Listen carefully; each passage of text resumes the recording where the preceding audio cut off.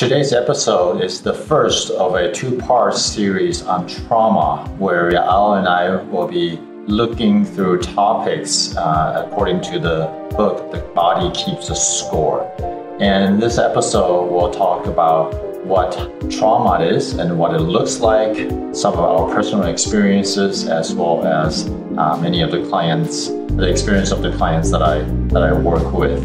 And in part two, uh, we will dive into some of the modalities that is uh, uh, mentioned in the book on how to address uh, trauma and how to heal and recovery, uh, recover from that.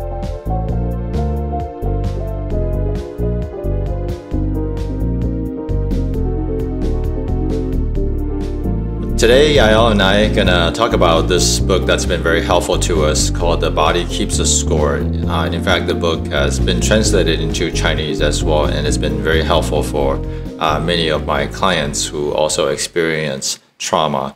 And uh, so we're gonna begin uh, a little bit with why this book has uh, such a significant impact uh, in our lives. And it's not a you know very very new book. It's pretty recent, but uh, you know it's not the the, the latest uh, per se.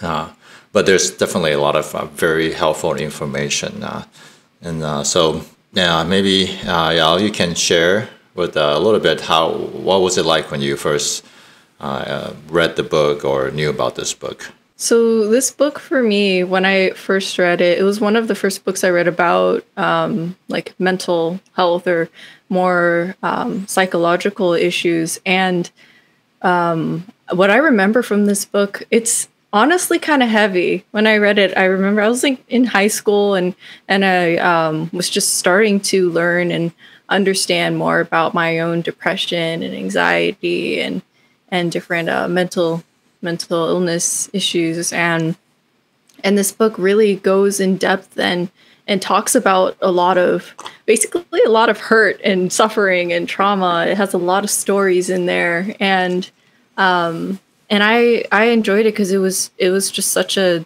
plain um like unavoidable acknowledgement of all of these different issues and challenges. And then it also gives this entire perspective about what's going on in the brain and the different areas of the brain and and I guess what's what's happening physiologically when um, like when somebody experiences trauma and then afterwards like what the after effects are and the lingering impact of, of trauma and and how this really stays with us and so this was really helpful in seeing that there's really like a a physical thing in the brain that's happening when somebody's experiencing hurt and pain and, and suffering and that there are a lot of reasons for for our behaviors these these behaviors in our own lives that sometimes we don't understand. And i think that like a, a lot of times with mental illness or just in life with suffering there's um, a lot of things that we do that we don't want to be doing or that we don't totally understand mm-hmm. and this book kind of clarified a lot of that and and showed that you know there are some reasons for these these things that we do or these automatic reactions that we have so. yeah when we learned about this book i think it was introduced to us to uh, by our uh, therapist at that time um, and uh, it was uh, very healing in the sense that if you feel like somebody understand what's going on. Mm-hmm. Yeah, so you read the stories, you read the explanations, the science behind it. Uh, it just made made a lot of sense. And uh, so the book you know, talks about what is trauma and trauma's impact on the brain, even the structure of the brain, and it impacts our hormones and physiology uh, and, and health, even metabolism in the sense that now that we, we know, know more about it.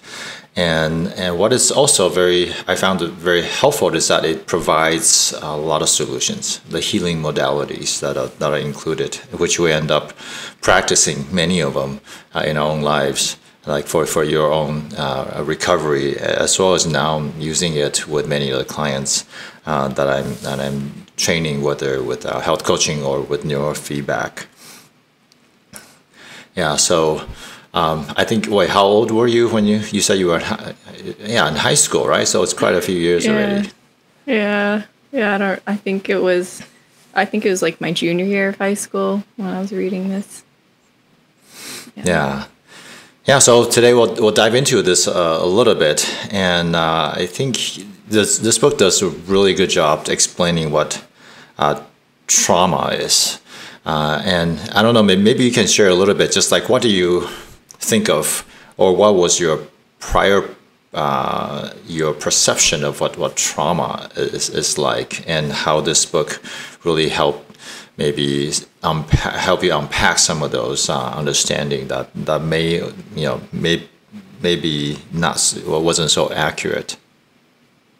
Yeah. So before reading this book, I think that when I heard trauma, I was just associated with like PTSD, and then so that seemed super super serious and super super I don't know scary and and big, and and it kind of is, but um, this I think that like trauma to most people when they hear it, it, it does sound like a whole big thing that people don't want to touch. You know, people don't want to want to get into it. It sounds messy. It sounds yeah, sounds big, and and I think it most mostly is uh, associated with um, like PTSD or or um, I guess what people would call like big T trauma versus um, like little T trauma. So like big T trauma would be more like these um, significant uh, events, and often they're life threatening events, and that leave mm-hmm. people like traumatized after, and and they'll often um, display like symptoms of PTSD.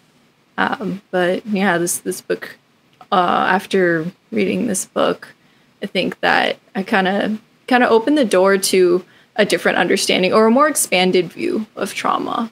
And I guess you could describe it as the little t trauma where this is more um, i guess like smaller things that that happen along the way that build up and maybe it's like like a more of a chronic stress situation um, but yeah this book introduced kind of like that idea to me that that these things don't necessarily have to be like a one and done serious event um, but like most a lot of us can be like experiencing traumatic things in our lives or experiencing the same effects. And so. Yeah, I think for our family in particular, we didn't feel like we're we had trauma right before this understanding because we felt like we were just living a normal like you know life uh, maybe in a different culture and we're trying to uh, cope with that but it just you know feels normal. It seems like a lot of people do it. Uh, so we don't understand why these difficult experiences are having such an impact, and so we will never think of it as as trauma, right? But in fact, I feel like most people are experiencing this kind of buildup of stress that accumulate into uh, something that that is uh, with a very strong adverse reaction, whether in our brain or or in our body. Yeah, so I think that's what we're going through as, as a family. For you, know, for you, um, you share your you know, story before that the uh, the isolation, uh, the inability to fit in, and having to re-establish acceptance over and over again. That kind of things all all build up. Yeah, so so the concept of big T trauma, little T trauma, maybe we can unpack that a little bit. So you mentioned like the big T trauma are these major events like uh, combat, uh, seeing deaths, or um, or even police in intense, intensely hostile situations. I think maybe more common for a lot of us will be like major accidents or natural disaster type uh, type of things, right? And uh, whether it's physical or, or emotional major events. Uh, yeah, I remember seeing uh, one, one of the families I work with, the kids uh, were living in a foreign country and they, they experienced robbery. Yeah, so mm-hmm. from that, uh, they, it was they, they, they became extremely scared. You know, so it definitely was not a problem with the with the parents. Uh, parents were very protective, but they, they were robbed, and so they developed uh, these young kids, elementary school age kids, develop uh, strong fears. They're not willing to go to the bathroom by themselves. They cannot stay home. They have to sleep with their parents. Um, and uh, they also experience uh, uh, night uh, a wetting, bed wetting at night.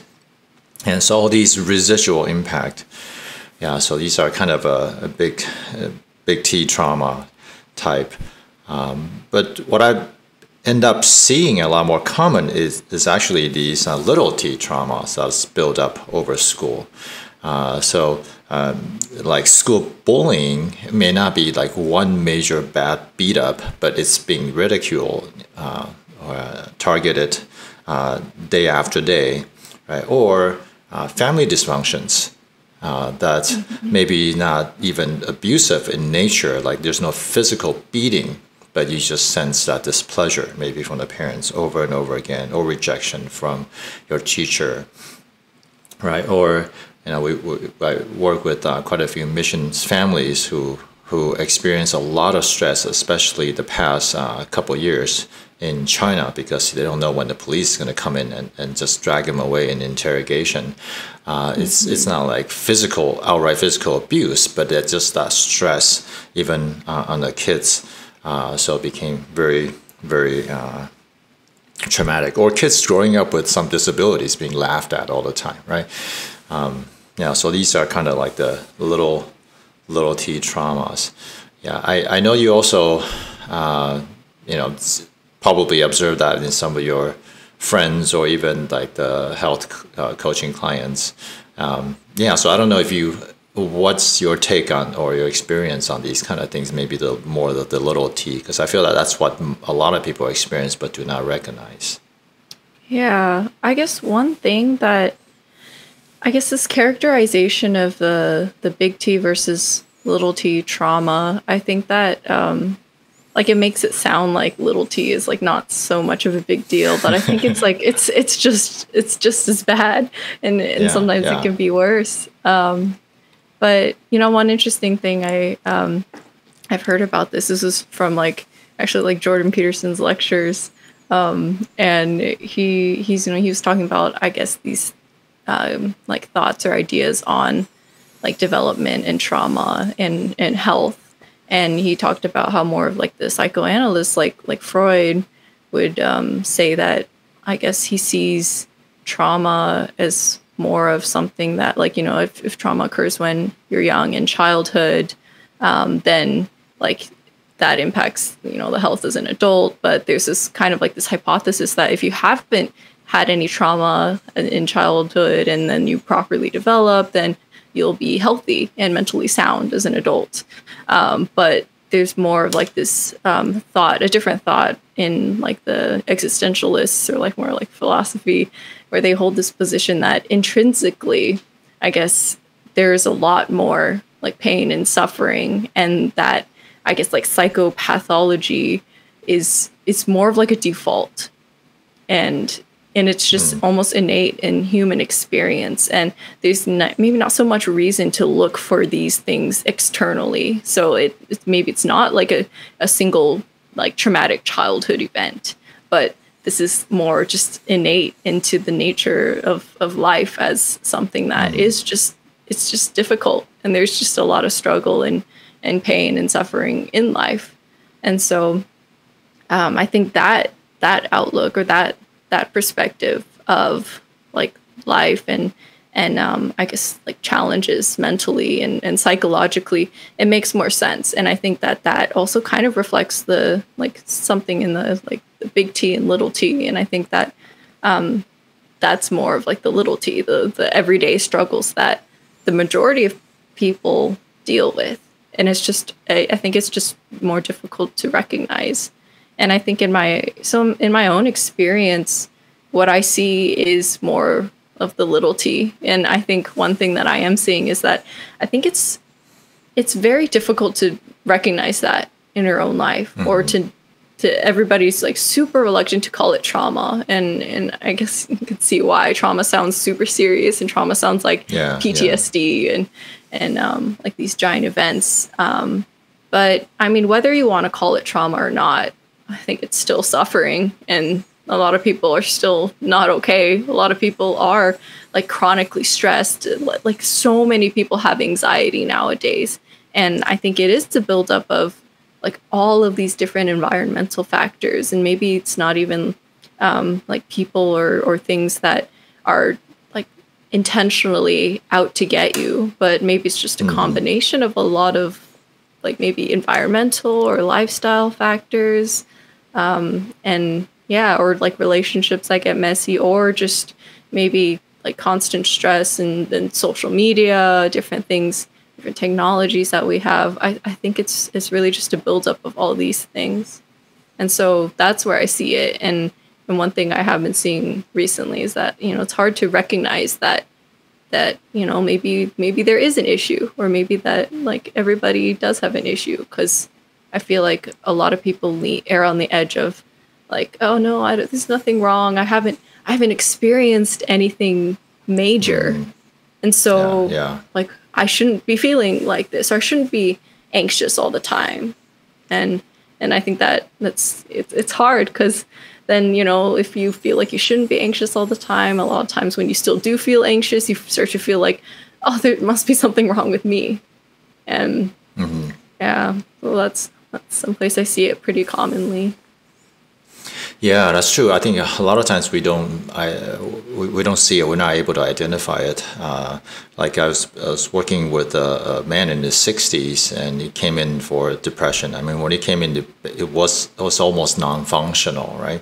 And then so mm-hmm. kind of use your neurofeedback to re re-regulate his brain, so he's at least able to process what's happening.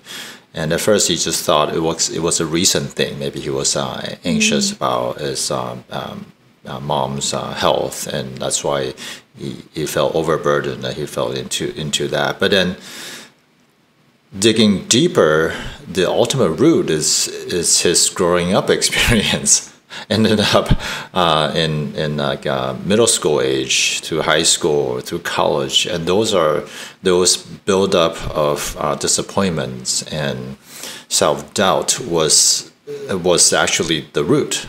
And, and and since it was kind of gradual and it seems like a common experience of teens growing up, it, he didn't identify it, right? But it wasn't until we addressed that that he became free. and he's able to process all kinds of uh, uh, recent challenges. He became more resilient uh, as a result.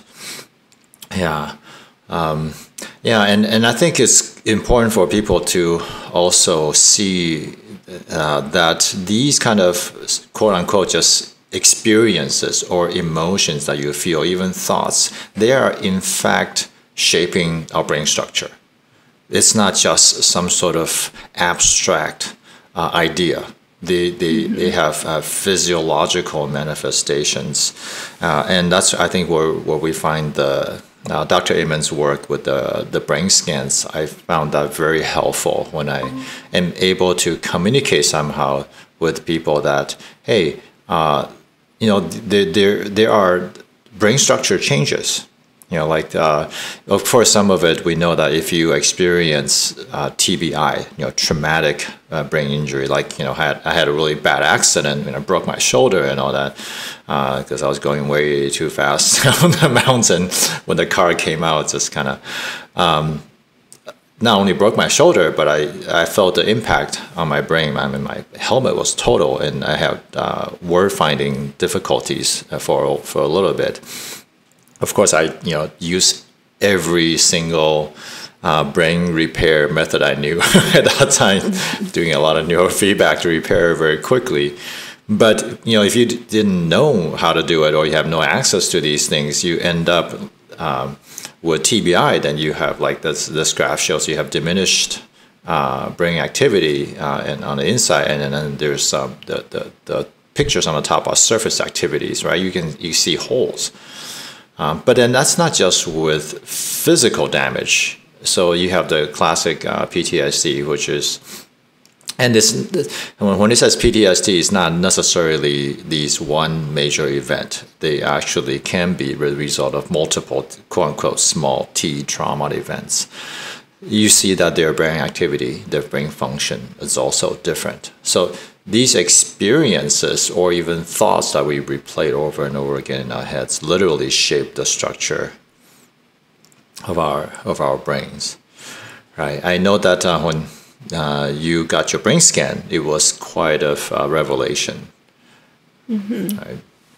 yeah yeah i mean it was it was really helpful to to see something like a tangible representation of what I was feeling because I did feel crazy. I did feel like, yeah, I, I felt like I was going insane. I didn't know why I was doing all these things. I was, I had good intentions, but um, poor outcomes, poor behaviors, mm-hmm. and and I didn't want to be doing those things. But I just, I just felt terrible. But yeah, this, this was, it, it was good to see, to see that you know there's something, something else is you know going on. Yeah, so I hope that uh, uh, you know just with our sharing today, you know whatever you are experiencing, you know if you're listening to this, do not need you don't need to dismiss the feelings that you're having just because it seems like your experience, your situation, your context is not, quote unquote, not as bad as other people's, right? Because uh, mm-hmm. it is still real to you and it's still impacting uh, you, your brain impacting your physiology and your your soul is you know your spirit has been been being impacted, um, and uh, so that's that's the first thing. Hopefully, we can have uh, a little wider understanding of what trauma entails, and we don't have to dismiss it in our in our lives so quickly. Um, yeah. So the and then the book also went on and talked about how does that how does this kind of experience this kind of trauma impact uh, us physiologically uh, in in our body and in our mind as as well. So maybe we'll dive into that a little bit because I find that very very helpful as well. So body wise, so so maybe I don't know if you can reflect back a little bit of what you experience physiologically um, when you are kind of fighting through this, or uh, maybe you know some of the people that you encounter. I, I, definitely have some stories to share, but you can maybe you can share some of what it looks like in terms of what you see and how the how the book also describe. Yeah. So in my own experience, um, I I was actually kind of all over the place. I had like on both sides of um, like being too tired and then being too too like stressed and and active. And I um, I guess first to describe like I with depression I experienced a lot of um, like lethargy, and so I had no energy, no motivation, and I was just very very very negative emotions. And um like physiologically if we're talking about like like i guess remove the mental aspect for for a bit or just just looking at what what i felt um physically i, I was just tired. So i could sleep for the entire day and like i could do that every day. And um and i like i i was like that for so long i, I almost didn't realize that um that that's not normal. Like now I like I physically can't sleep that long. I sleep a certain amount of time and then I'm just awake. I can't sleep any longer. But um but when I was really depressed, I could sleep for hours. I could sleep for like half of the day and then longer or like could wake up super late and then maybe just be awake for 6 hours or or even less and then sleep longer. And that that felt fine um, so there, there was just something so wrong with that. Um, yeah, so like that that entire thing was sleep and energy, and um, I guess on the opposite spectrum or on the opposite side of that, where I experienced um, almost like too much was anxiety, where I felt like um, mm-hmm. I was just super jittery, like my heart was up, and I just like I was just felt pumped but stressed and and I um yeah like almost like freaking out not knowing what to do um and so yeah I remember both sides of that and then um, I also experienced for a period of time like these terrible, I don't even know what to call them, but we called them like mood swings. And they would mm. happen like not in um, like long periods of time. And it wasn't bipolar. I remember talking to some of my psychiatrists about that, talking about bipolar, but it wasn't quite bipolar because um, mm-hmm. it happened so quickly. It was just one minute I could feel fine or great or pretty, um, like pretty energetic, pretty excited about things, almost like some positive emotion. And then the next second I would just crash and I would be tired and very negative. So these things came hand in hand, like these positive and negative emotions actually like correlated with my energy state, my physical energy state. And so that was kind of interesting. But I, yeah, I would have these mood swings, we would call them, um, and it, they could change like within the second, like, or within the minute, like by second by second. And yeah, it was kind of scary because I just felt completely like I completely out of control because it would just my mood or how I felt about something, like my opinions, everything would shift so quickly. And so yeah. that that's where I saw that in my own life, that kind of um, like dysregulation and um, to like both sides of, of the spectrum. Yeah, and in fact, that makes a lot of sense, right? Because our body is always looking for a state of balance, right? Homeostasis, whether it's our blood sugar, you know, that's why your, your our insulin is is needs to act right away, so there's not too much glucose in our bloodstreams. But it also cannot be too low, so our liver, try, you know, mm-hmm. need to release because uh, there's a there's an optimal range uh, functional range. Uh, and that's true not just that, but, but for our hormones, uh, they are supposed to, some are supposed to be active and, and in certain, uh, certain circumstances and so forth. So our body has that kind of uh, automatic system that is constantly monitoring everything, adjusting.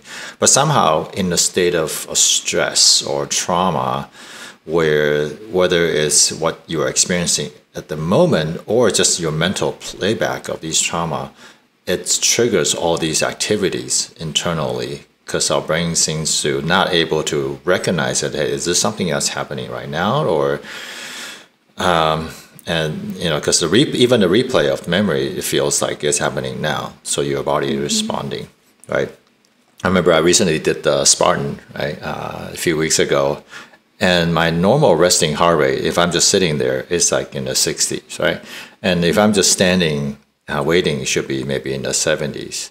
But I was just standing there waiting for the race, and it's like 140, right? So it's like, right? But that's normal because you're anticipating some sort of stress coming, so you, it's trying to get your body ready, right? Mm-hmm. But it seems like a person in trauma, like your case, your heart rate could be racing for no reason, and you are mm-hmm. not anticipating something big. But in fact, maybe it is. Your brain is actually anticipating anticipating something stressful, something bad happening. Right. Mm-hmm. So physiologically, what happens is you cannot go into the state of repair, or maybe it just kind of shuts down because it can no longer function, and you fall into sleep. But then the, it seems like even in a state of supposedly a state of repair, you're not able to repair right? Because somehow you are still under stress. Your body is still in fight or flight. So maybe it's part of the fight or flight or freeze response. It just kind of shuts down because it doesn't know uh, what to do, right? Yeah. Yeah, or you can have elevated um, stress hormones. Uh, in fact, it even impacts your metabolism. Like where when we have uh, chronically elevated uh, cortisol, our blood sugar tends to be higher as well. Um, when you don't get enough sleep, uh, some people have insomnia when they are stressed, and then you don't sleep. Uh, just a, a, day or two, you can be uh, pre-diabetic in, uh, in in how your your body react to insulin. So these are all these um, physiological uh, impacts that, that we, we see. Um, and I, we, we see that as end up uh, negatively hurting uh, the somebody's health uh, after, after a while as well. Yeah, yeah, I mean, I, I've heard also like cortisol also, you know, like suppresses parts of the immune system function too. Mm-hmm. So, because like when you're stressed or in that state of um, like getting prepared to fight. Um, you know, your body isn't gonna focus on digesting and or mm-hmm. or all of the little immune functions that that normally could occur. Mm-hmm. Yeah, use the little chart of um, I guess this the sides of the spectrum.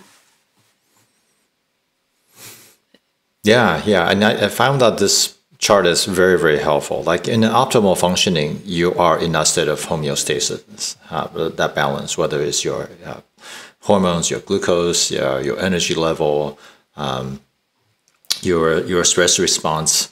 Uh, it, normally, you, you should feel pretty relaxed. Generally, like because you feel safe, you are able to function, so you are able to uh, concentrate on what the present moment task is what you're supposed to do right now. So that's the state of high functioning. If you're relaxed but focused on whatever you need to accomplish. And of course, there are uh, instances of uh, um, uh, greater stress or greater challenge. Like I mentioned, just the race. Like every time I do a triathlon, right before jumping into the water, you know, your heart rate goes up but that's in preparation for some stress that is anticipated, that is real, that is coming up. Or maybe you have to give a speech, uh, you have a test coming up. Yeah, so you are you know, a little bit more aroused than normal. And so because your body is shifting you into that emergency mode. And but that's okay because you need that boost of energy and you your body automatically shut down some of the, the repair the reproductive the digestion the the yeah the the healing uh, the and maybe the uh, antibiotic uh, um, responses of your muscle rebuilding muscle so forth. These building and repair functions get shut down for a little bit right? So you can put all your energy into fighting this emergency. Uh, but then normally after a little bit after the event is over it should come down to normal functioning Okay, so after the race, of course, I'm relaxed. I know that it's, it's done. So I'm, I, I can go into rest and repair mode. Uh, in fact, at night, I should my body should shut down. So my parasympathetic nervous system should kick in into into sleep, into repair, into digestion.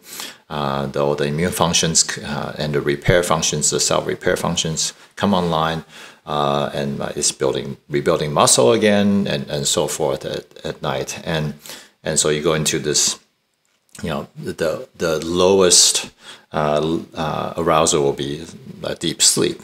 And deep sleep is uh, neural restorative it's, it's restorative to your body.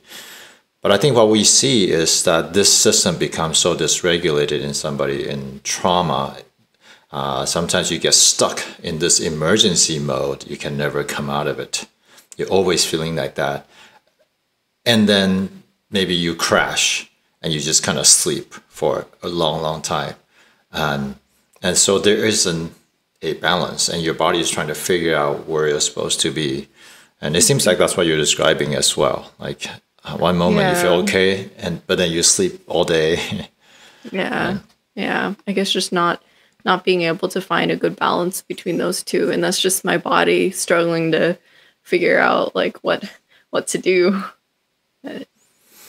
Yeah, yeah, so that's definitely what I, I see a lot as well. People, uh, because of their experience, their their traumatic traumatic response, they are stuck. Sometimes they're stuck in both, like their emergency mode, because their brain keeps replaying all the dangers, and your body keep re- uh, anticipating the danger, but then that drains so much energy. You have absolutely no energy to do anything. Um, mm-hmm. Yeah, it's very. You know, people who don't haven't experienced it is, is really hard for them to understand. And it's like, it doesn't make sense. Yeah. You're not doing anything, right? why yeah. aren't you, why are you tired? I don't get it. Yeah. Yeah. Yeah. So it's, it's so it's kind of like that. Um, so that's trauma's impact, uh, on, on the body. That's physiological. But obviously, we feel it in, in our mind, uh, in our brain, like even like headaches or like clouded thinking or just mental fog and and and things like that. So I don't know what's what's your thoughts on uh, when the book talks about how trauma impacts our our mind. I mean, we kind of intuitively know, but you know, maybe we can also describe a little bit of what that is like. Oh yeah, so trauma, I guess the experience of trauma or experience of these negative things, I think the way I can I can best describe it is that we feel like there's something wrong or you know after say after experiencing a um, something negative or maybe a negative interaction or negative situation, something that happens that, um, you know, kind of throws you off. And maybe it's a ton of things that build up, you know, over time or a ton of interactions that are similar. Um, I think that we we feel it or we feel that like oh something's wrong or something that was unpleasant. And i think it kind of just sticks with us. Um, for me at least it kind of just this negative feeling just stuck in my head and it almost feels like something like knowing something's wrong but not knowing what it is. And i think that when when like you don't know what it is or what exactly you're dealing with you also don't know what to do about it and mm-hmm. i think it's a recurring or it's a problem and your brain just i don't think your brain just your brain just doesn't let go of it you kind of hold on to it and it seems that um almost seems like memory kind of functions that way. I think, um, like most of us, when we think of memory, it seems like memory is supposed to be just a, a record. Like maybe it's like mm. an objective record, a chronological yeah, yeah. record of what happened, but it doesn't seem like functionally what it seems to be doing more of is holding on to these experiences um, to mm. prepare you for the future. And so mm-hmm. when I experienced something, I guess, negative, um, it was just really a jumbled mess in my head because I didn't even know how to identify these things. And so my brain just felt like it was stressing out. And I remember um, I didn't know how, what to, like, how to describe what I was feeling. But I always came back to the word overwhelmed. I was I mm-hmm. when somebody would ask me like what I was thinking, oftentimes I would just like, you know, what emotions am I thinking or am I feeling? And like um like is it angry or is it like sad? And that I was like, no, I you know, I just feel overwhelmed. And I think that's mm-hmm. that's the best way I can describe it. It just felt like yeah. a huge mess to deal with. And because I didn't understand the situation, I didn't understand what exactly happened, then what I could do about it, and like what the problem was or how to solve it. Like I, my brain just felt stressed, and it felt like it just kept telling me that you know something's wrong, there's a problem, but but I didn't know what to do with it, so kind of just stuck in there, and it just felt felt just overwhelming. Yeah, I, and I think because of your experience, you are able to identify more now what's going on and also just you know yeah. reading the descriptions in, in this book. And then probably one of your experiences is that you're seeing a lot more of this in other people as well right? Yeah, yeah so how do you how do you go about letting them know that uh, or, or explain the explaining them to them what's happening or showing that maybe you are understanding what is happening with them. How would you approach it, I guess?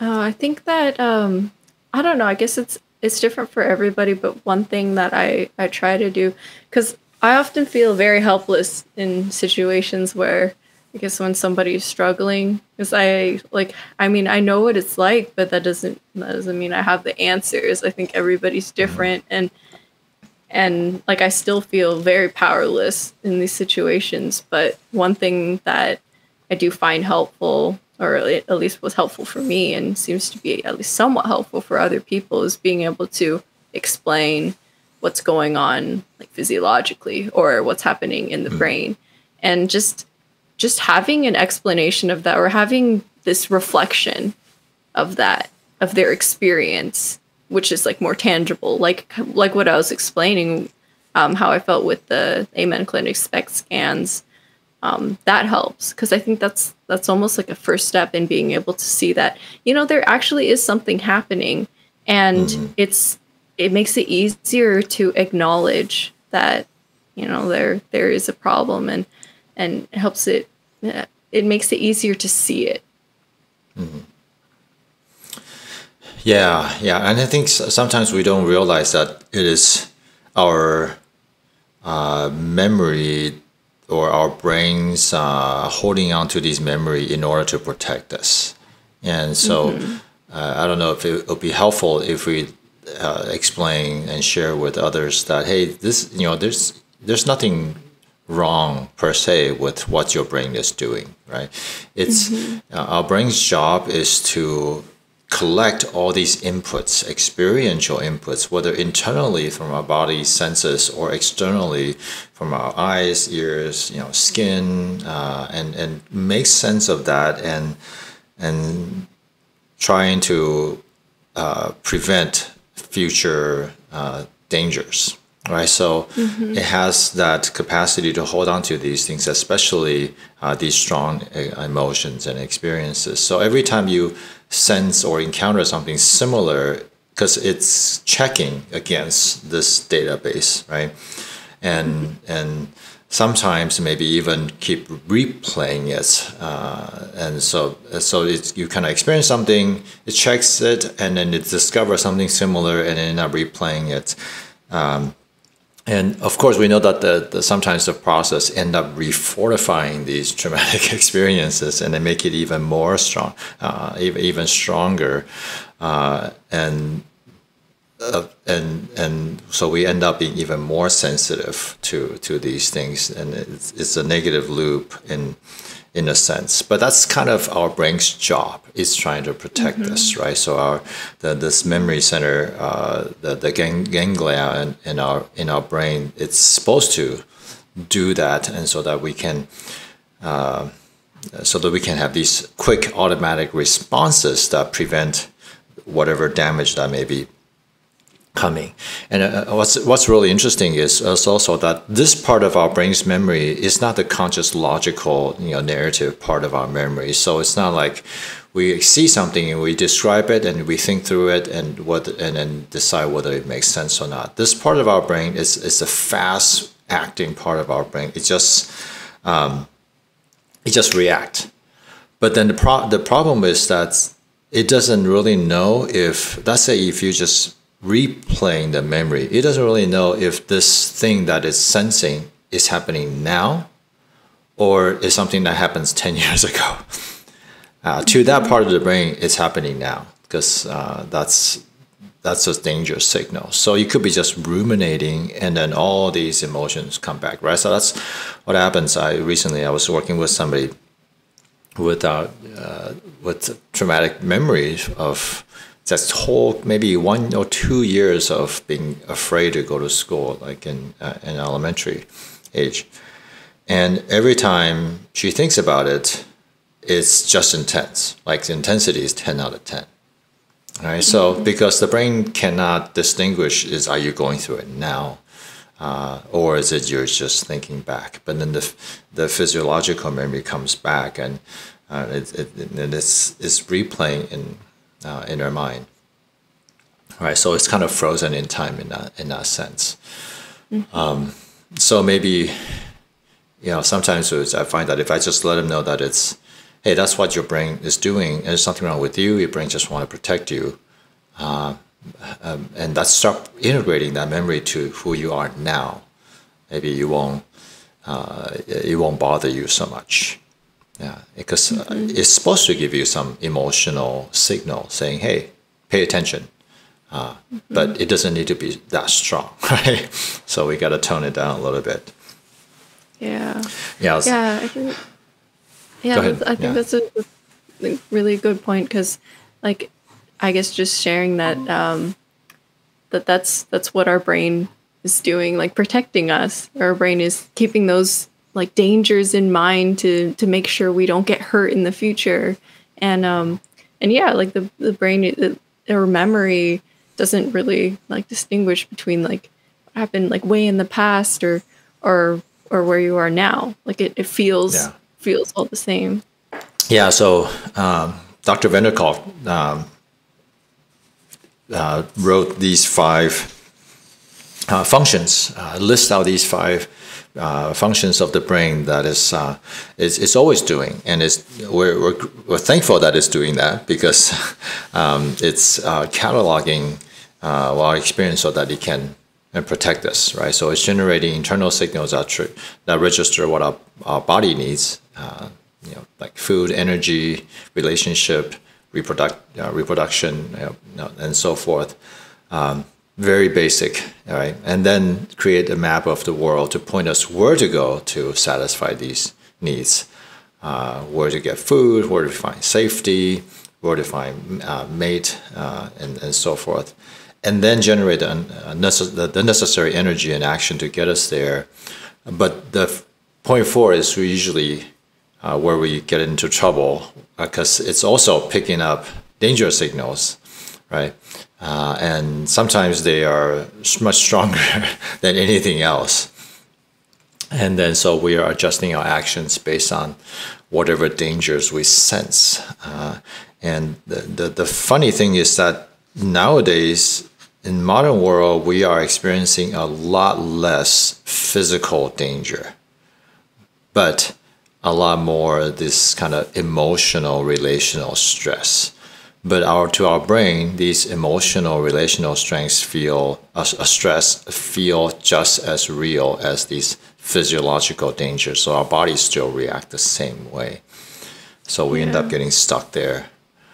Uh, yeah i think that i mean that that also aligns with that whole the big t little t thing. Like big t is often um, like these one single major events and often they're life threatening events but I think most of us experience more of the little t where it's not like life threatening per se, or I mean, we're not in a situation where um, like physically we're being threatened, but there's a mm-hmm. lot of other like psychological or social or environmental stressors that that contribute to this same I guess like stress and stress reaction where our brain reacts um, and and basically warns us and tells us that you need to watch out for this and that alarm is, is can be like almost the same same strength yeah yeah and and that seems seems to be the the type of uh, ex, uh, experience that I'm seeing a lot more with the clients that are coming for neurofeedback. Um, and oftentimes it's because of these uh, social disconnect you know this scary school environment or scary uh, uh, mission field, and they are being threatened over uh, and over again, not in necessarily in you know, physical danger, but it feels like they are in, in they, they feel like their their life is being threatened. Um, but then that that kind of built up and then so they feel like oh there's something wrong with me because you know why am i reacting like this why am i so uh, so fragile? Why am I so sensitive? Why am I so you know troublesome? I remember this uh, this uh, young woman. Uh, in fact, I also discovered that she has some uh, reading challenges, and it's not because she's not smart. It's just it's um, it's her brain's de- decoding difficulty with pictures and lines associated with light. I, I suspect she has uh, Irlen syndrome, but she didn't know. You know, she just thought that she was you know bad and she hated school and and school felt like a dangerous place, and so. But it, she knows it's not, but it doesn't jive in her head. So, mm-hmm. um, yeah, so she, she would go to school and just have these uh, uh, uncontrollable uh, shaking and you know it's like a uh, danger response, right? It's like the animals after they're being they're being chased and attacked, they shake uh, uh, to shake off shake off things, but she couldn't help herself, right? So, um, but I, I think. I'm trying to let her know that it's, it's, just, it's just literally just your brain trying to protect you. Yeah. So I don't know what you whether you are knowing these kind of things, whether you're identifying more of these, maybe even like the people around you, uh, because I think a, a, it seems like a lot more young people, uh, like um, uh, young people your age, is experiencing more of this, but not realizing that this is in fact stressful. Yeah, I think a lot of people, a lot of people have anxiety or, you know, like feel anxious and, and kind of just stressed. I think I think a, some level of stress is almost like the norm now, and some yeah. level of stress. It's you know this is also something that it's I think it's almost kind of in what I'm seeing culturally, where it's almost like stressing about things is celebrated or stressing about things is somehow virtuous and if you're very busy or if you mm. don't sleep enough at night and it's just little things yeah. like that where where it's like if you I don't know, maybe it's like if you're pushing hard or um yeah, like I think there's almost some kind of um yeah, like like appeal to this, but I think this is our uh, I think it's very common um in in uh like the culture that that I'm in and with people my age. It's I think like stress and anxiety is is very normalized. And I think that it is helpful that people are talking about mental illness a lot more, talking about anxiety and depression. But um, but yeah, I think that it's definitely like it's definitely not good. A lot of people are anxious. A lot of people are depressed, and um, and I think that yeah, like there there still is that huge um, I think it I think it's a huge huge problem that people like don't think that they should be feeling this way, but they are feeling like like even for something that seems minor like being lonely. Like loneliness mm-hmm. in today's world like a, there, a lot of people feel disconnected from other people even though we have social media and um and I think that that was like I think that was one of the major things that contributed to my depression is just isolation and you know maybe it's not just isolation you know maybe that that does have a have a much larger impact on us than we yeah, realize yeah. and or that we want it to have um, i think we think that you know we, we should be fine or we should be you know we have friends or we can find friends or we have social media or we should feel like we have enough but um, i think that's that's one of one major thing i see that people are saying that or people think that oh no i should be okay or i should you know i should feel like i have enough or i am kind of surrounded by people but i still don't feel like i'm really connecting. Maybe it's an issue like that and and and people just don't know what to do because they don't feel okay but then they feel like they should feel okay and i think that it's you know with the lockdown i think it has has gotten a lot worse. Um but i yeah i think that a, a huge part is um, like a, a huge first step is being able to recognize that like no matter how small these experiences you're having are like no matter how small they seem like in your head how like what you think you should feel about these things i think it's really important to recognize your actual experience and i think that like in this book he, he does talk about um, like connecting those two sides of it the emotional and mm. like your your narrative picture of it or like the the mental part of it like the emotional mental being able to um, like understand that these emotions that you're feeling this negative emotion that you're feeling there's a reason for it and the answer is not to just say that oh i shouldn't be feeling like this so i'll, I'll shrug it away or just to push mm-hmm. it down because I think all of these instances where we feel a negative emotion, especially if it keeps coming back up, it's a sign that our body or our brain is telling us that, oh, there's something wrong here. Yeah, and so yeah. it's totally okay to feel like this. And I, I think it's so important to think about it and and to actually be able to see it and confront it, accept it for for what it is, and then yeah, to be able to dig deeper into what what could be going on.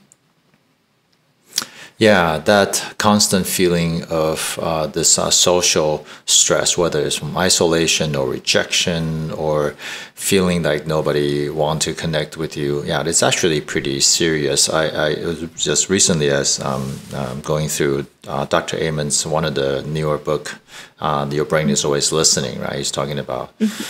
Um, the dragons uh, of of uh, these, I guess, uh, that does the emotional damage, mental damage. But uh, he was talking about how just with the lockdown, the isolation. I think he wrote the book in the just. Uh, I think it was released in the mid 20, uh, 20s, not uh, 20, 2020, middle of 2020. And so that was just, he just mentioned, I think it's just a month or two after the lockdown, and already the prescriptions for uh, you know psychological uh, difficulties went up like 30 40 percent 30 something percent mm, yeah. just within that first month or two. Yeah so it's pretty significant. Um, but then it, it it is our brain telling us there's something wrong. So it's trying to give us signals right? Um, uh, I also remember this book called I think it's called Why Zebras Don't Get Ulcers. uh-huh. Because animals don't you know they only experience these kind of high stress and their body respond with these high stress when there is real physical danger when they're being chased by a lion mm-hmm. right but the second they got away and the lion got tired and just gave up and left they just kind of shake and then shake, shake it off and then yeah. and then that's it they re- return to normal right uh, low low mm-hmm. stress but we are not like that right now. We are constantly being bombarded with stress. So our brain is trying to respond to that constant stress, which I think your generation is feeling a lot more of it, but it's not necessarily given ways to address that. Uh, I, yeah. I feel. Yeah. So maybe could you talk about, I guess, a little bit about what is going on in the brain or how the brain works or processes these things. Yeah, yeah. So this is uh, Dr. van der um, uh, figure in, from, from the book. And I think this is helpful in just understanding why our brain uh, acts this way and what it's doing trying to protect us right so if you this is a very very simplified way of looking at our brain so on the most basic level so i, I guess you can kind of divide the brain into three major uh, sections with three uh, types of main purposes. Uh, the most uh, basic part of our brain is the what some people call it the reptilian brain, the brain stem and uh, the base of the brain. So it includes the hypothalamus, uh, brain stem, and this just keeps us alive. I mean, it's the main function is make sure that we are uh, the, all these automatic functions are working in proper order, meaning uh, your breathing, your heartbeat, uh, whether your uh, body's homeostasis in terms of uh, hormones and, and uh, regulations of various chemicals sleep, uh, hunger, just phys- internal physiological sensations. All these things are just very basic, just being able to stay alive, right? Even they, they call it the reptilian brain because just the even lizards, you know, have these. And it's the funny thing about uh, many of these lizards when they see fly, they just kind of stick out their tongue and eat. That's not even like a conscious thing. There's no planning involved. It's just, it just, they just react. they just, they just do it, right? And uh, but this is important because if you have to think about how your heart beats every second of your of your uh, of your waking time, you know, basically you will not be able to function at all, right? Or like you have to think, how do I breathe?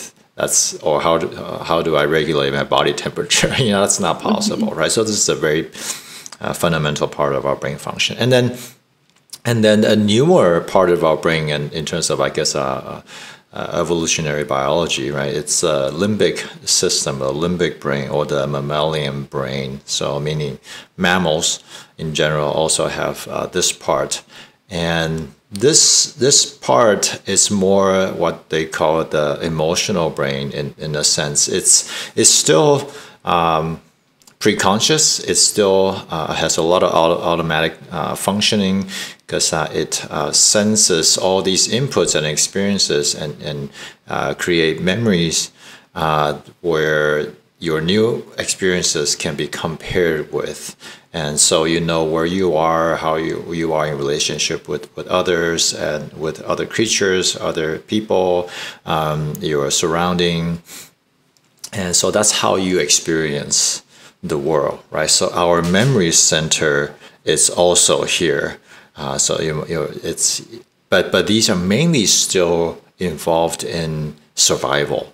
How do you stay safe? And how, what's a quick way to uh, compare your experience from the past with your current situation? And where is you know earlier we talked about your brain is uh, is creating a map of the world and also find opportunities so you can get the things you need and avoid danger. So a lot of it is still in this part. And then last part the, the newest part, more, most advanced part, and for which the human has the, the greatest uh, volume in terms of all the animals, is the, the cortex, um, this, the neocortex. And so for human beings, this takes up a huge part of our brain as well, it's about 30%. And other mammals are less. I always like to uh, joke with mom saying the cat only has, I think, like uh, eight percent of their brain in their cortex, but dogs have twelve. So dogs are more advanced. but but human beings have 30 percent, right? But this is the part where we feel like we have some charge because we have uh, thinking, logic. We can plan things out. Uh, we can understand. We can create. Uh, we can think uh, think ahead. We can uh, make uh, decisions that are that are, that are analytical and but this is also a huge uh, part of our brain where we stop ourselves from doing the things that are hurting us. You know, it's, it's the the braking system, so to speak, or inhibitory functions of uh, of our brain. Um, but oftentimes, what I'm finding is that it's really not this part that a lot of people struggle with. Because if you talk to people that are maybe uh, depressed or anxious uh, or having very difficult relationship with others, they, they all know how to think properly. Uh, they all know that they can analyze the situation and say, hey, I, I really don't think this person has bad intentions, or uh, you know, things like that. They, they have rational thinking. But regardless, they still feel unsafe right? So they still feel danger. They still feel extremely anxious. Uh, in, in some people that are maybe have so, social anxiety or performance anxiety, they know that they are fully competent, but in that context, they still feel uh, you know the, the paralysis from anxiety and from stress, right? So it's not the prefrontal cortex or it's not even the, the, the cortex functions that are malfunctioning. It's the it's the alarm systems of the brain that is kicking in. Yeah, so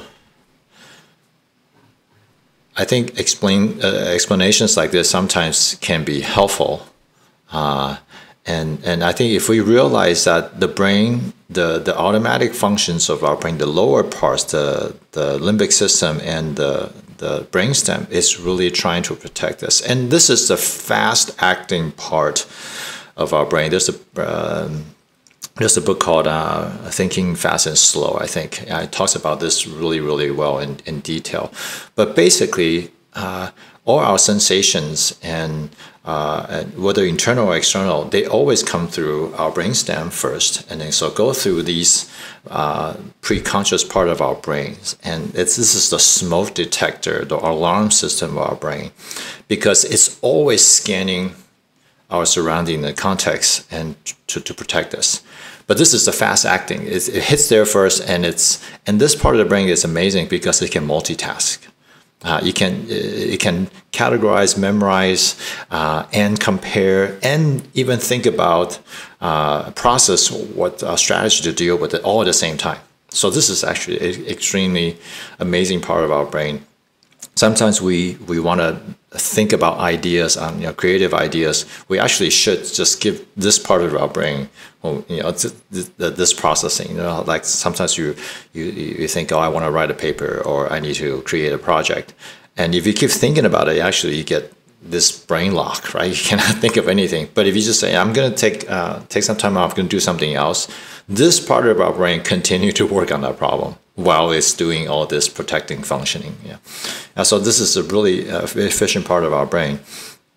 But these parts, the amygdala, the, the uh, hippocampus, the, um, the thalamus, these parts are working all the time to detect danger. But what happens is sometimes this part becomes way oversensitive.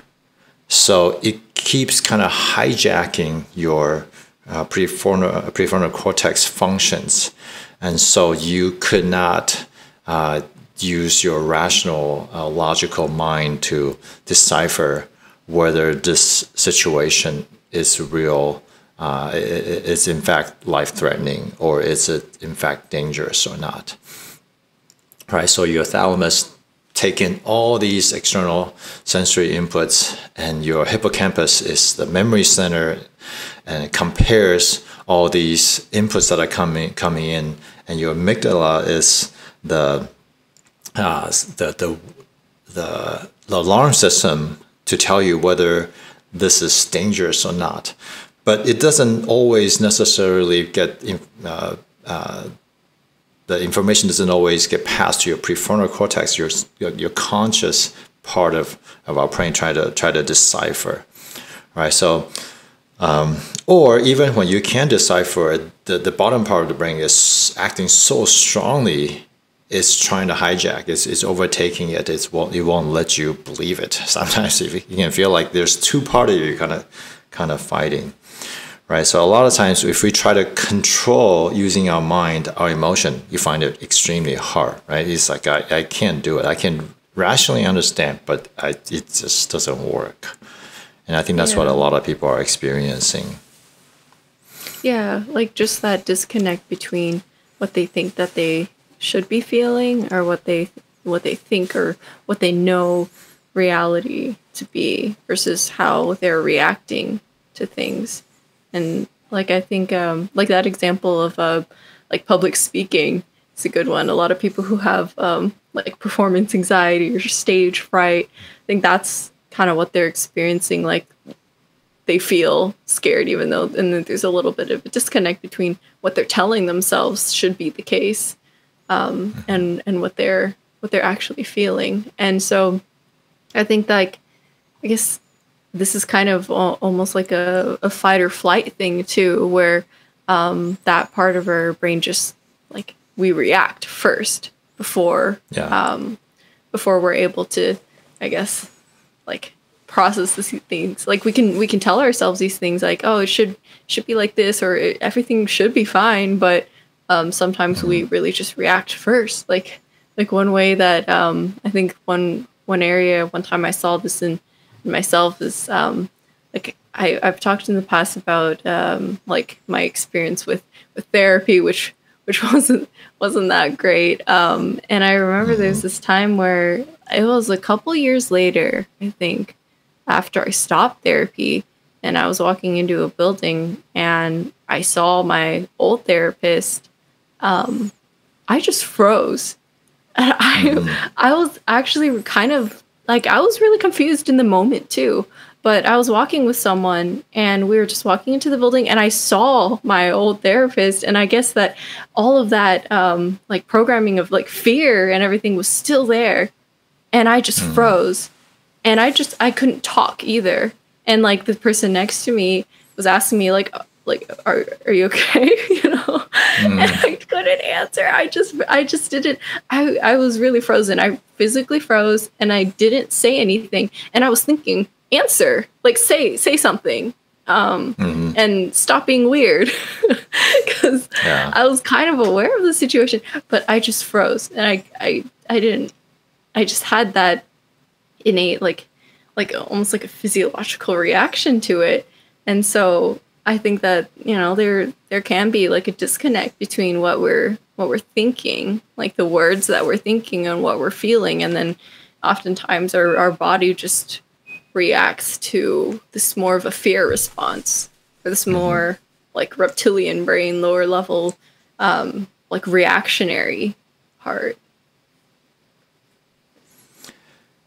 Yeah, and some and and so, but but most of the time we think that we can use this uh, so-called top-down approach to regulate this, and that's what a lot of times people tell you know telling us, giving us advice. That's what they're telling us to do, saying, mm-hmm. you know, why don't you just you know think this, believe this, right? You you, you mm-hmm. don't you know look at the situation this way, right? So so they're trying to tell our prefrontal cortex how to think and mm-hmm. and then say, well, then you can, if you think this way, you should be able to behave this way, right?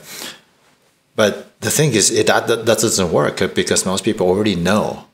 Uh, it's mm-hmm. not a knowledge problem. It's not a uh, thinking uh, logic problem, but it's the yeah. yeah I remember uh, one uh, you know, we, we have I have this group uh, where I just uh, it's a spiritual practices group where, where people learn how to regulate their inner lives, their their souls, not so much using quote unquote right thinking because these all these all adults they have tons of right thinking. Everybody knows what to think, uh, but uh, but it's more of a bottom up um, approach where you calm the body first and then and so so this person is saying yeah so after a few weeks of practice she's able to calm herself. She does that you know in the morning and also before going to sleep. But she used to have problem just sleeping because uh, she has some physiological issues where, where, where uh, she get vertigo for you know no reason. So she's afraid to sleep. She sleeps like a stiff board right? But um, but after some calming, she her nervous system calms, and then she can in fact be relaxed. Right. So this is not like oh I I know I'm healed, so I can just sleep however I should be able to relax. Right. but but you can't. Your body won't let you relax, uh, mm-hmm. and because it's still worried that you're gonna get in trouble. So it's trying to protect you. So you actually want to calm that part of the, of the brain first and that's I think what happens to a lot of a lot of people in different contexts, including performance anxiety, right? So sometimes people take like beta blockers to mm-hmm. reduce the part of our brain function, so you can you can stay calm. But then I think we have uh, physiological uh, capacity to to impact that using a lot of more natural uh, uh, approaches, um, and and so we talked about the, the brain structure in terms of the, the, the brain stem, the midbrain, the your lower brain, midbrain, and, and the and our, our, cortex. But that is also tied into our what we mentioned earlier, your your nervous system, right? Because uh, when we are in that activated mode, um, we are in sympathetic. So if you look at the graph in the pink section, is the uh, sympathetic. The uh, some people call it the accelerator or the gas pedal uh, part of our uh, of our nervous system. So when when our brain detects that there are some events we need to need to address, then it, that kicks in and that gives all your physiological functions a boost. Uh, and, and these signals are oftentimes uh, generated through our, our hormones, uh, stress hormones, right? So our eyes become sharper uh, and our hearts start to beat faster and also our lung capacity increases and also shuts down digestion because hey we don't need to digest anything we're in life danger and then your liver uh, pumps glucose into the bloodstream uh, so that you can be ready to activate your muscles and fight right? And, and your kidneys would have released adrenaline, all those things. Um, and in, in fact, you can trigger these things very quickly. So I used to wear, uh, when I was playing around with uh, uh, continuous glucose monitors, so I had this implant in my arm. And, and uh, you know, I, would, I was practicing very low carb diet. So I could, I, you know, eat my eat my normal foods, and you basically the, all the blood uh, glucose is flat. But then I would go to the swimming pool and I would jump into the cold pool. It's about um, like eight nine degrees Celsius, so it's like in the low fifties, right? Low fifties Fahrenheit. I'll just go in there for a few minutes, and you see a spike in blood glucose that is as high as like eating a piece of uh, of bread. so you know that's that's a stress response, right? But it's very short because I just get out and a few minutes later that curve goes down right away. So that's what your body is supposed to do. Your autonomic uh, autonomic nervous system is supposed to do that. It gives you a quick reaction to address danger, and then you should come back very quickly. Where your parasympathetic nervous system, the braking system, or the, the restore and repair system kicks in right? So your digestion comes back, your heart rate slows down, uh, and and your your liver uh, will release bile instead of glucose because uh, it's is, is you're supposed to be taking in food and it help you digest and and your intestines is supposed to once again be receiving nutrients and, and so forth so that's you know that's that's the natural course of event if your uh, ANS is very flexible right but I think what happens right now is that we are so stuck so many people are so stuck in sympathetic mode we don't repair uh, our repair functions are inhibited. So we're to get sick. We're to uh, develop uh, all kinds of even uh, chronic Uh, conditions. Uh, whether your immune system goes, goes out of whack or you you uh, become very easy, uh, susceptible to viruses, colds and flus, and even like things like you know COVID and and because we're in such a stress mode, our body is not able to depend, defend or, or repair. Um, and, and one of the ways that I track this is using uh, HRV devices, like heart rate variability devices. I know this is kind of advanced. I don't know if we'll talk about it today, but but yeah, I wear this thing called the Oura ring, right? So if you look at the inside, it's it's you know this like a digitized electronic ring. Right? I have to charge it once in a while, but it takes it gives me a picture of my uh, nervous system, whether it's very flexible, whether you know, it's it's in good condition. I also have been wearing this device called a Fora uh, O2. I tape it up because it's there's a blue light, and I don't want it to interfere with my sleep at night. But yeah, so I just wear on my finger. So it takes my pulse and also HRV throughout the night uh, as well as uh, blood oxygen levels. Because a lot of people, when they sleep, they don't breathe properly, so their oxygen levels take a dip, and that is also pretty. It can it can be pretty harmful as well. But these uh, would, would tell me how my uh, sympathetic nervous system is doing. Uh, uh, recently, some a man started doing neurofeedback also because it's just a recent stress event. He became so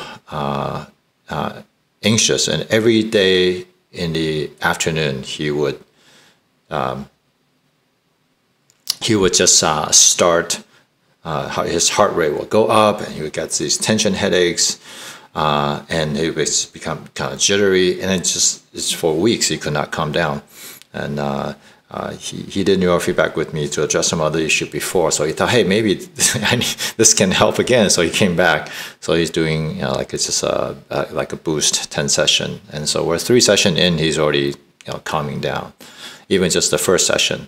Uh, so it's, it's it's clearly a nervous system thing, right? He knows he doesn't need to be anxious. Whatever he was addressing is already addressed. But his nervous system would not calm down. He's still stuck in the in the fight or flight mode. Yeah. So yeah, uh, I, I brain structure and nervous system, quite mm-hmm. crucial. Yeah. Yeah, and I guess to talk a little bit more, like even just about this, like the sympathetic fight or flight or the parasympathetic rest and digest. I, I think that um, that's the sympathetic, the fight or flight is where we see a lot of people stuck in now, like you were describing with that guy. And um, like that's where we see a lot of people with anxiety, where um, where people are just anxious all the time or stressed all the time and it's like they're wired and and maybe they they start their day and then at night they can't calm down so yeah, that's that's yeah. place I see that a lot too. Um, but yeah, like that's that's the part like associated more with the anxiety. Yeah, and I, I think that I really want to let people know that it's not like there's something wrong with you. It's not your fault. It's not like you're thinking wrong or you have wrong beliefs or uh, wrong behavior or you're like an uh, undisciplined person. I don't think it's that. It, it's really there's some much uh, something that's much more fundamental that is happening uh, and your body is reacting, uh, trying to protect you. So I think that we don't need to carry guilt associated uh, with these things. So that's a lot. Just talking about our brain brain work. I mean, the book has so much more, but I know we've been talking about this a lot already. So maybe I thought maybe we can kind of jump into uh, some of the healing modality Uh, I know there's another section that I prepared, but but we don't necessarily have. Maybe we'll kind of touch upon that later, but because uh, we've been talking for like more than an hour already, just on this, just on what is trauma and how it's impacting our body and our mind. Uh, so maybe this will need to be a two-part thing, because then the, the healing modality is also huge, uh, and but that's I find to be, you know, the helpful part. Um, then we can know what we can do uh, to to address